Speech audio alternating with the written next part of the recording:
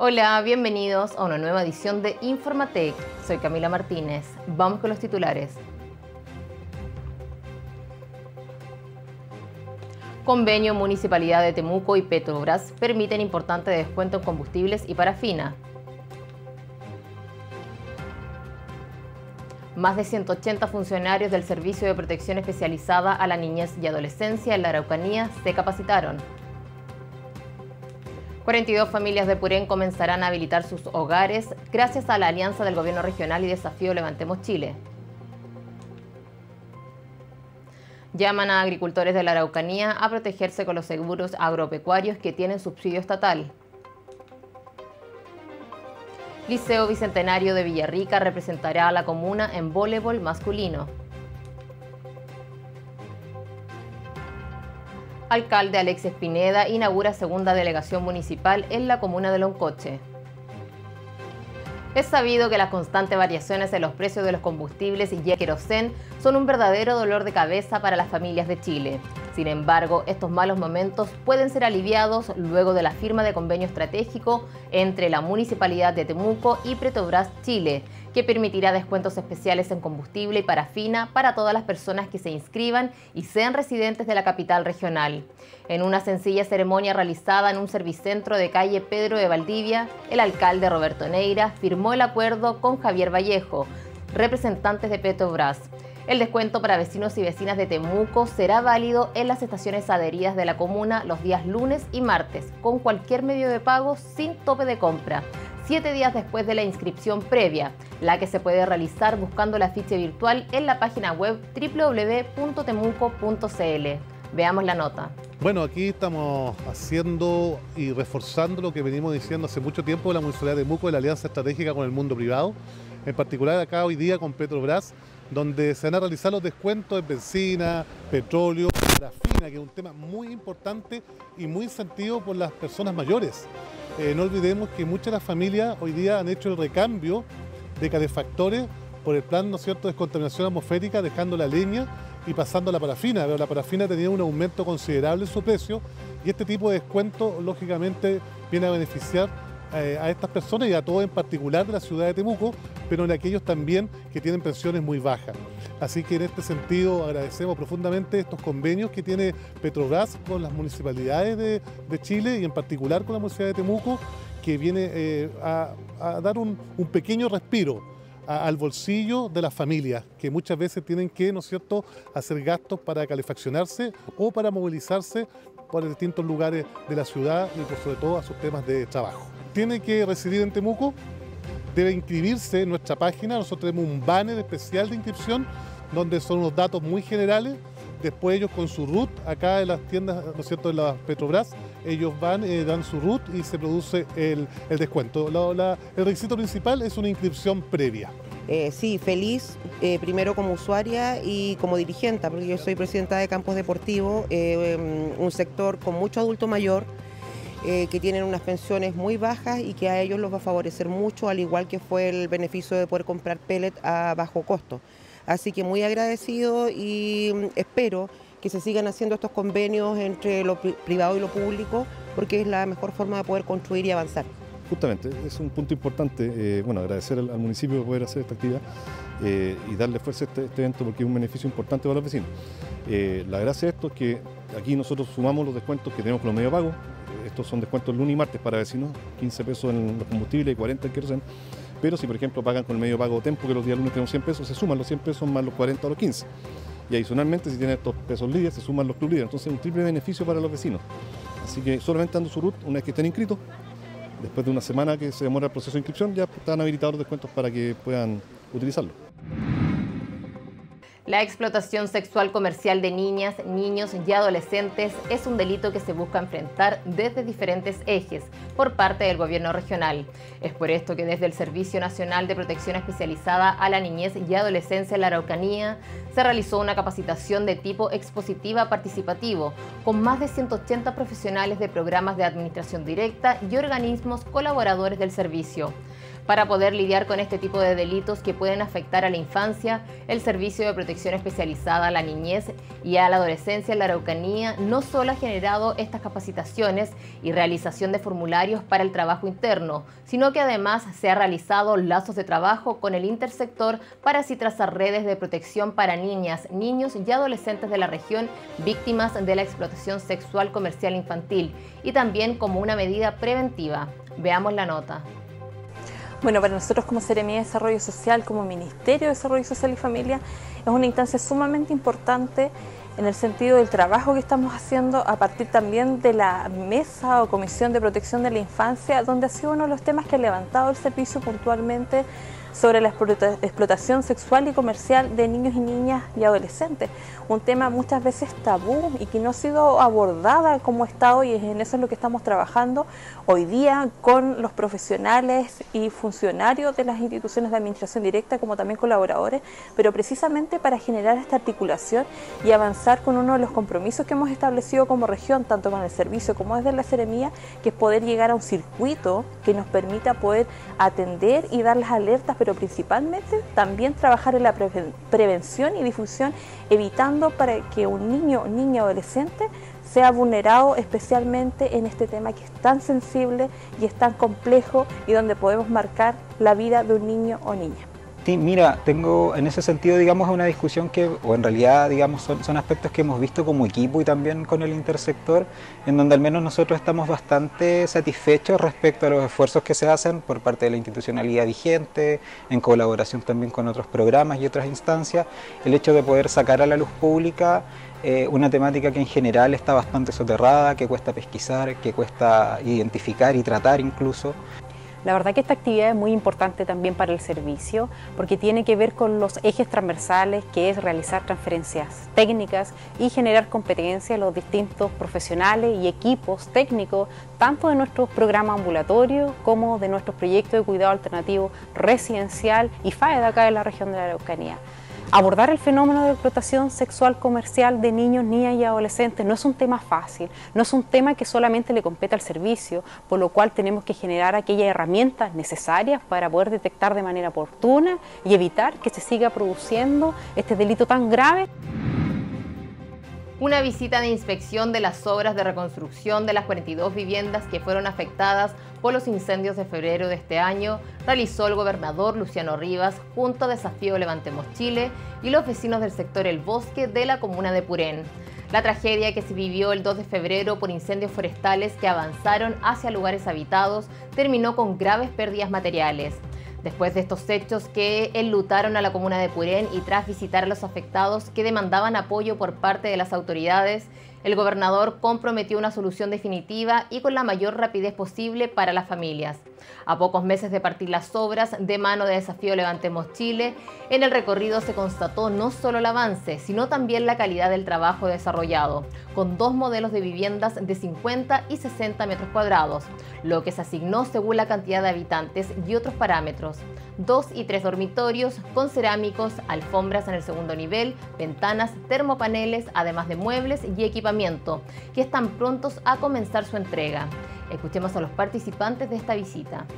Ya estamos prácticamente celebrando ya porque ya se acerca septiembre en donde la empresa eh, que está construyendo acá junto a esta trilogía que hubo de trabajo, partiendo con nuestro gobernador don Luciano Rivas Estepque, ya el Consejo Regional, el municipio de Purén, eh, el grupo de desafío Levantemos Chile, eh, la comunidad, la gente, todo feliz, muy contento de ver esta este avance tan acelerado, tan rápido como nunca se había visto antes en Chile.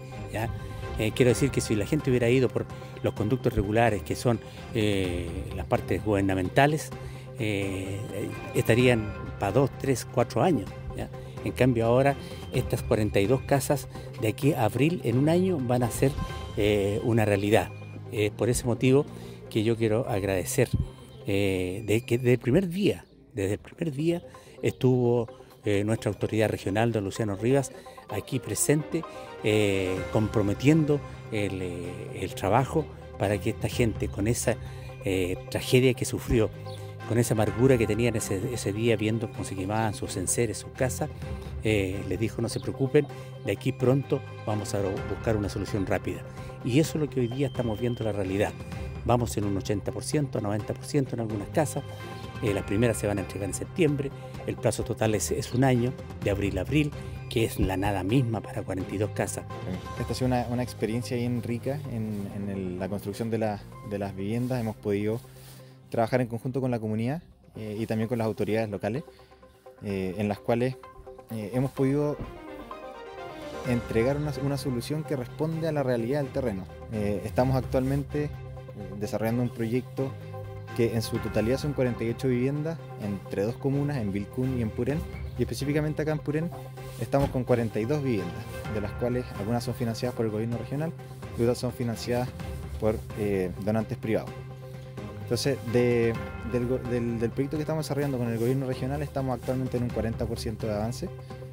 Eh, llevamos tres meses eh, de obra, ya con un 40% de avance. Proyectamos entregar las primeras viviendas en septiembre y luego mes a mes ir entregando las viviendas que vayan estando disponibles porque nos interesa que una vez que las viviendas estén listas para ser habitadas, estas sean habitadas por, las familias porque entendemos la realidad eh, que tienen las familias de estar de allegados en alguna parte o en, algún albergue o, en, otros lugares que no son su vivienda. Entonces nos interesa poder entregar, obviamente, un trabajo de, primera calidad, pero en el menor tiempo posible.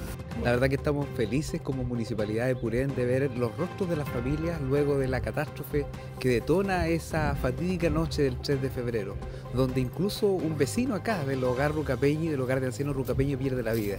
Hoy día las sensaciones de alegría de ver a nuestros vecinos del sector... Eh, Nahuel Codó, Diego de Almagro, que hoy día están viendo la construcción de sus viviendas. Ese sueño que en algún minuto se vio derrumbado, consumido por las llamas, hoy día vemos que está absolutamente distinto, cambiado con la construcción de sus viviendas. Y por supuesto esto le da una esperanza de volver a comenzar, de volver a levantarse. Así que un gran saludo afectuoso, agradecer a todas las instituciones que han estado involucradas en el proceso de reconstrucción, al gobierno regional por supuesto, el compromiso del gobernador Rivas desde el primer minuto, ese primer día que vino a ponerse a disposición y hoy día, eh, por supuesto, estamos viendo que esos compromisos se están cumpliendo. Lo primero que fue terrible, todo lo que pasó, y ahora estamos más contentos con todas las ayudas que nos ha llegado por el gobernador, por eh, desafío y por la municipalidad igual, por los chiquillos que trabajan, Don Hermo, el maestro, el jefe de acá igual. Estamos muy contentos por todo eso y dar las gracias a todos los que vinieron y los que están ayudando y todavía están los de acá. Y no lo han dejado solos ni desamparados todavía. Feliz, feliz, gracias a Dios, en primer lugar, gracias al gobierno que se fusionó, ¿no es cierto?, con eh, Levantemos Chile, porque cuando hay privados y, gobierno, eh, las cosas funcionan mejor andan más rápido. Eh, para nosotros esta es la felicidad completa con, para nuestros vecinos, los vecinos que perdieron sus viviendas, sus hogares. Ya estas no son solamente casas, son las viviendas definitivas en donde van a volver a soñar, donde van a volver a decir, aquí nosotros nos anclamos porque aquí hicimos vida. Fueron 27 años de vivir acá y esos 27 años, ¿no es cierto?, eh, tienen historia y la historia es este, este su barrio, donde llegamos llegamos con nuestros hijos pequeños y ahora ya la mayoría están casados con hijos y seguimos haciendo historia. La casa, es cierto, es algo material, pero la historia la hacemos las familias. Estoy muy agradecido por todo lo que han hecho parte del gobierno, el desafío Levantemos Chile. Aparte, cuando empezó esto, agradecerle a toda la gente también que estuvo apoyándonos las personas que vinieron de diferentes lugares a entregar un granito de arena, se le agradece mucho igual. Es muy bueno también, un gran apoyo porque así lo sentimos respaldados, nos sentimos muy acogidos y es todo agradable, muy agradecido de todo. Bueno, en este caso mi familia está bien, ha visto cómo está el progreso, y gracias a Dios estamos igual mirando acá como construyen las casas, estamos cerca mirando y se ve todo bonito. Han trabajado rápido los chiquillos Levante por Chile. Eso se agradece mucho porque ya vamos a tener antes estar bajo un techo nuevamente. Porque no es lo mismo estar bajo un techo que estar llegado en otro lugar. El Ceremi Agricultura Héctor Cumilaf se reunió con el director ejecutivo de Agroseguros Alberto Niño de Cepeda y el director regional de INDAP Pablo González para hablar sobre los seguros que cuentan con subsidio estatal al copago del costo de la póliza. Lo anterior en la línea de la soberanía y seguridad alimentaria del Ministerio, ya que protege a los agricultores y les permite continuar con la producción agrícola, apoyando además la adaptación ante las emergencias agroclimáticas acontecidas en el último tiempo en la zona, como los incendios forestales, las inundaciones y el déficit hídrico. El seguro agrícola con subsidio estatal es una herramienta de transferencia de riesgos climáticos que provocan daños a cultivos y producciones agrícolas, ocasionando pérdidas económicas a los agricultores. Este instrumento permite recuperar el capital de trabajo invertido en caso de la ocurrencia de las afectaciones que cubre la póliza. Escuchemos al Ceremi Agricultura y al representante de Agroseguros. Estamos en un contexto de cambio climático donde las situaciones de emergencia cada día van a ser más recurrentes, por lo tanto como Estado, como Ministerio de Agricultura tenemos que disponer de herramientas para llegar eh, de manera más efectiva a los agricultores. Como INDAP tenemos eh, solamente en los programas entre PDTI y PRODESAL 40.000 eh, agricultores atendidos ¿cierto? por estos programas, por lo tanto ese es un piso mínimo del cual pudiésemos trabajar. Por eso es tan importante esta, esta herramienta, por ejemplo, una hectárea de trigo para un agricultor INDAP aproximadamente asegurarlo significan 30 mil pesos. Es lo, que, lo que paga el agricultor. Pero después si a ti te, o sea, si, sufre alguna situación, eh, te devuelven prácticamente todo el capital, que un millón doscientos mil pesos. Exactamente. Entonces, por eso es tan importante. Porque... Cualquier agricultor todos los agricultores beneficiarios de INDAP o no INDAP, pequeños o grandes, pueden postular al subsidio, a seguros agrícolas con subsidio. ¿ah? Eh, pero tenemos, tenemos eh, monto a subsidiar, nosotros subsidiamos, Agroseguros subsidia entre el 40 y el 60% del costo de la póliza, más o menos en términos generales, y sobre eso, si usted es beneficiario de INDAP, tiene un subsidio adicional, que se lo da INDAP y llegando alrededor del 95% del subsidio para beneficiarios de INDAP. Todo agricultor puede postular, pero hay topes. ¿ah? Tenemos topes de máximo que, son de 80 UF por póliza y 160 UF por eh, RUT, más o menos. Fundamentalmente efectos agroclimáticos, fundamentalmente, ya sea de sequía, falta de agua, exceso de agua, en general incendios también. Incendio forestal, por ejemplo, Incendio forestal, pero pocas, pocas pólizas, pero tenemos ahí topan las grandes empresas forestales topan en los topes. Los topes no, son para grandes empresas, son, son, topes menores. Pero en general los cultivos agrícolas que, están, se siniestran por incendio también están cubiertos por eso. Entonces son o exceso de agua o eh, falta de agua según la región. ¿Y en estos últimos... La pandemia, por ejemplo, bajamos el número de pólizas que se colocaron y hoy día estamos recuperando eh, los montos de póliza que tuvimos el año 2019. Pero más allá de lo que ha sido la historia, lo que, nos dice que el futuro, ¿ah? por, las características de lo que está pasando en el cambio climático, eh, tenemos cada día más emergencia, es necesario aumentar el seguro. Con el seguro actuamos ex ante, actuamos antes del, del siniestro, que a diferencia de actuar en emergencia, en la emergencia actúa posterior al siniestro y eso hace que en general sea más caro actuar ex post que ex ante y prever prever las situaciones de emergencia. ¿Y hay alguna diferencia a nivel nacional que la Araucanía tenga eh, preponderancia en este tipo de seguro?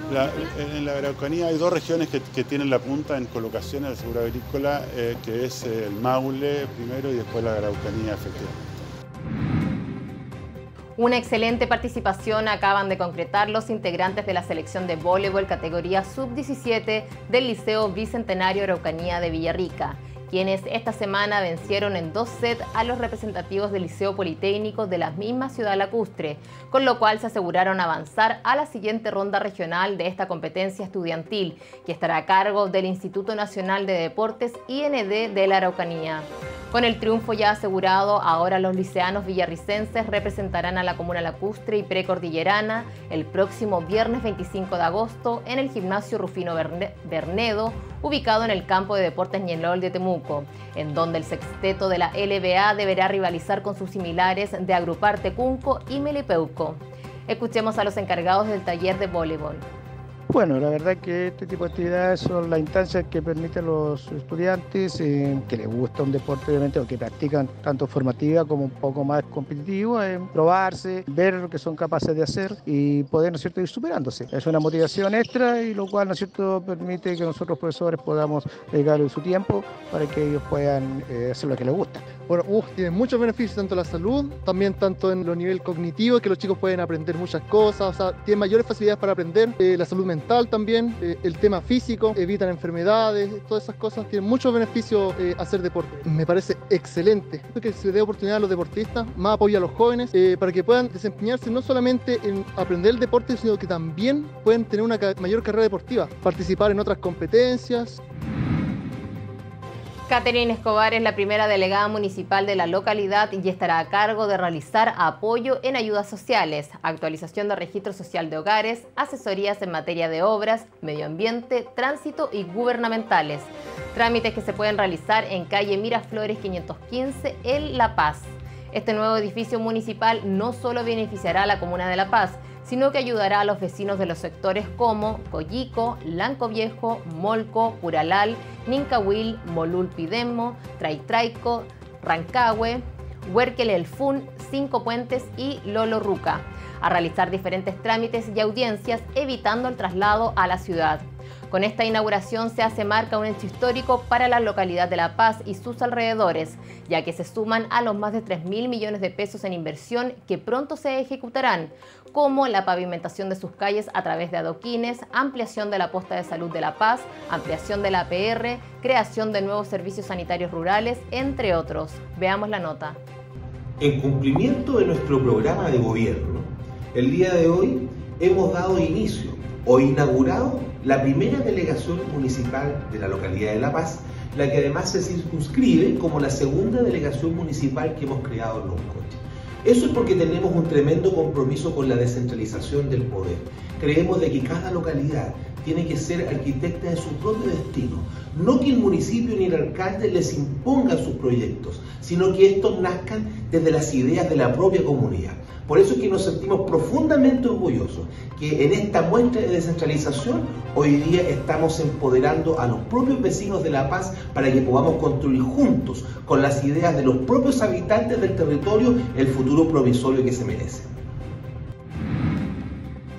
Este lunes, la Seremi de Gobierno Verónica López Videla junto al Seremi de Hacienda Ronald Clieff se refirieron a los subsidios MIPIMES, ya que solo el 51,8% de las empresas potenciales beneficiarias han solicitado este beneficio en la Araucanía. Más detalles a continuación con la nota de Constanza Ulloa. Este lunes, en las dependencias del gobierno regional, la Ceremi de Gobierno Verónica López Videla se reunió junto al Ceremi de Hacienda Ronald Clieps para entregar detalles sobre el subsidio MIPIMES, ya que en la región de la Araucanía solo el 51,8% de las empresas potenciales beneficiarias han solicitado este beneficio. Eh, por supuesto, estamos hoy día eh, junto al Ceremi de Hacienda de la región, Ronald Cliff, eh, precisamente haciendo un llamado a las micro, pequeñas y medianas empresas de nuestra región para que accedan a este subsidio. Hay plazo hasta el 17 de septiembre. Deben ingresar a la página del Servicio de Impuestos Internos. Creemos que es muy importante que ustedes nos ayuden a fortalecer este llamado porque hasta el momento un poco más del 50% de las empresas registradas en nuestra región, que son en torno a las 12.000, han accedido. O sea, estamos hablando un poquito más de 6.000 empresas. Y lo que necesitamos es que ojalá todas accedan a este subsidio a las MIPIMES, que es un apoyo importante precisamente a quienes generan el empleo. Sí, eh, nosotros hemos hecho eh, el cálculo con el Servicio de Impuestos Internos. Este, esta cifra es de julio del 2023. Eh, esta cifra puede tener algún aumento en los próximos, días. efectivamente, un 52% que se consideramos que, es bajo para, lo que, para el beneficio importante que se le va a entregar a las empresas. Recordar que son 12.000 las empresas potenciales beneficiarias y que hoy en día cerca de 6.000 han solicitado el subsidio al, sueldo mínimo, eh, beneficiando a 22.000 de los 38.000 trabajadores potenciales. Bueno, los requisitos es que eh, sean empresas que tengan ventas menores a 100.000 UF y mayores a 0,01 UF eh, de venta anual, eh, empresas que no se hayan formalizado después, de, después de mayo del presente año, es decir, todas las empresas anteriores a mayo pueden solicitar este beneficio y claramente que tengan trabajadores contratados con sueldo mínimo o que el ingreso imponible sea entre 411 mil y 500 mil En este sentido, eh, eh, han habido algunas eh, eh, consulta de, empresarios, de contribuyentes que han tenido dificultades. Ahí lo importante es que si eh, creen que eh, la información que tiene el servicio no corresponde y el cálculo está mal realizado, pueden hacer una solicitud a través del asistente del contribuyente del Servicio de Impuestos Internos y solicitar la revisión de los antecedentes. Por lo mismo, todas las micro, pequeñas y medianas empresas que cumplan con estos requisitos deben postular a través de la página web de servicios de impuestos internos con clave única o tributaria. Las solicitudes para recibir este beneficio son hasta el 17 de septiembre de este año. A continuación veamos las noticias internacionales con nuestro canal asociado Deutsche Welle.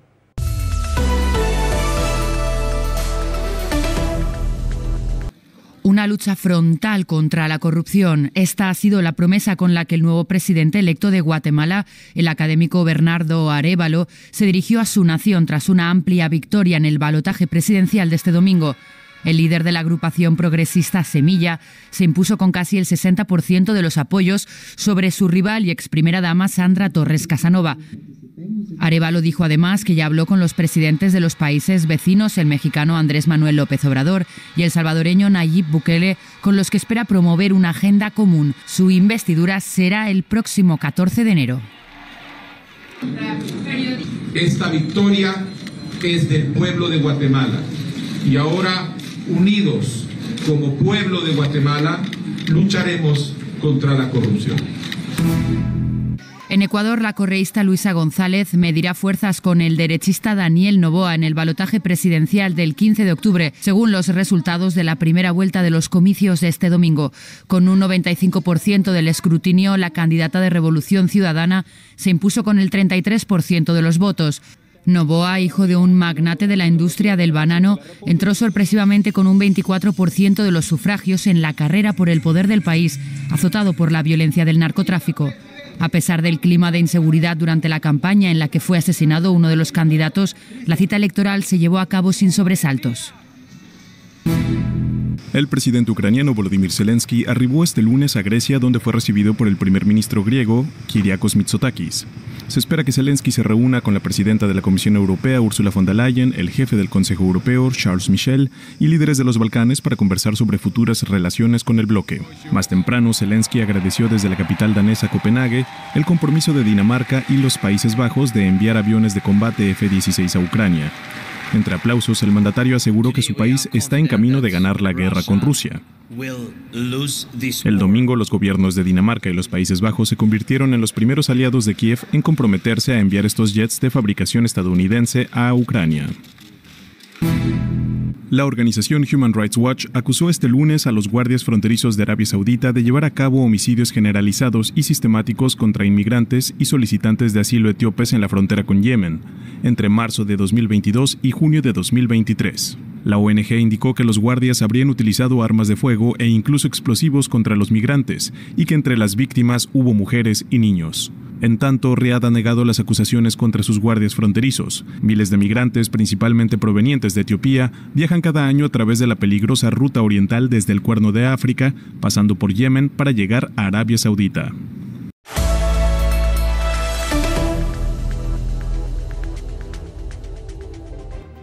Luego de quedar informados de la acontecer nacional e internacional, veamos el tiempo para mañana.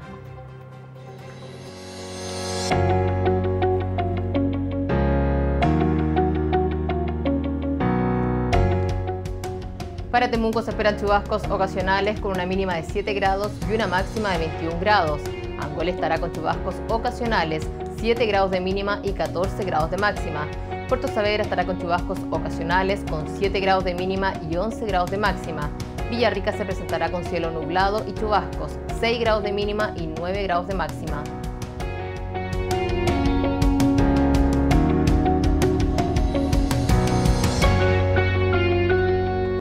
Después de conocer el informe del tiempo, damos por finalizado nuestro informativo para el día de hoy.